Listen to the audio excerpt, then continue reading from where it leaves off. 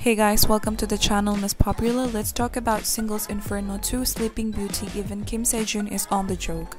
Kim Sejun might have joined Netflix Singles Inferno 2 later in the show, but he surely stole the show. He made a great impression when he was sleeping soundly, all while rest of the men were awake, talking, and panelists even had to wonder if he was receiving an IV. And let's not forget about how he sat up and he was woken up and instantly put sunglasses on indoor. It, it wouldn't be the last time we saw Sejun sleeping soundly while everyone was active. Sometimes you can spot him in the bed during the scenes in the men's tent. And we have to respect the fact that he was willing was the first time to keep up during the men's game show that he could sleep instead. Moments like this made viewers love him even more. Beside the fact that he treated Lee So so well, he was relative as F.